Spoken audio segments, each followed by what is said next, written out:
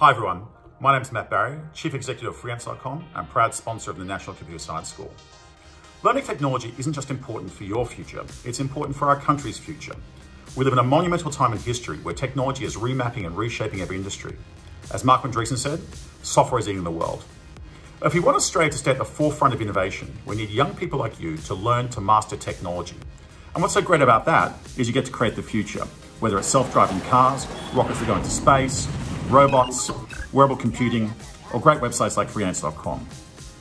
The NCSS Challenges is an exciting programming competition that I hope will ignite the passion for technology that I have in you. So get involved and let's create the future together.